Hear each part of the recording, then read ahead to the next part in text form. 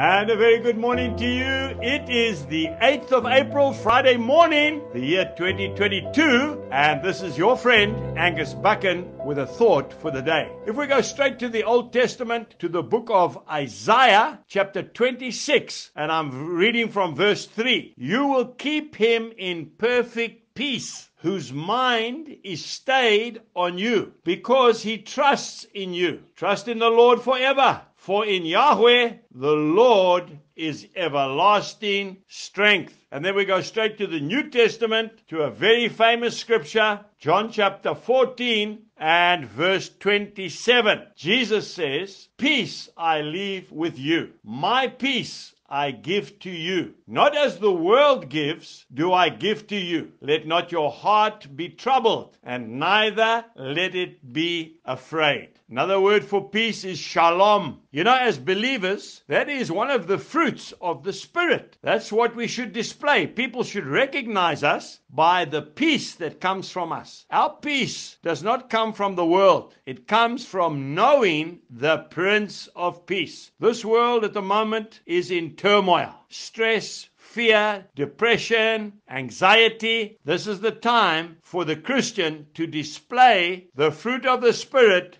peace. Psalm 20, verse 7 Some trust in chariots, some trust in horses, but we will remember the name of the Lord our God. You know, George Muller is one of my heroes. He started the children's home in Bristol, in England. And when he was old, some of his friends came together and they said, We want to get a pension for you. Tears filled his eyes. He said, Please give it to someone else. He said, All these years the Lord has supplied for me. I don't need anything. Please give it to somebody else. Peace comes when we put our total trust in God. The Lord says, Do not let your heart be troubled. I think the opposite of peace is fear. I really do. When we are afraid and worry. Worry is a terrible thing, isn't it? It's a killer, actually. I remember reading a story many years ago of a young man who was a mountain climber. I think he lived in Australia, if I'm not mistaken, and he had some heart problems. He went to the doctor. The doctor said, You've got a rare heart disease. Go home, make yourself comfortable, because you will die within the next two years. He went home and he sat down and he thought, You know, something? I've got nothing to lose. I'm going to die anyway. And I think he bought an air ticket and he came to South Africa and he started to climb the mountain peaks of the mighty Drakensberg Range in our country of South Africa. Some of these peaks were sheer walls of stone. He had nothing to fear because he thought he was going to die anyway. And he scaled most of them.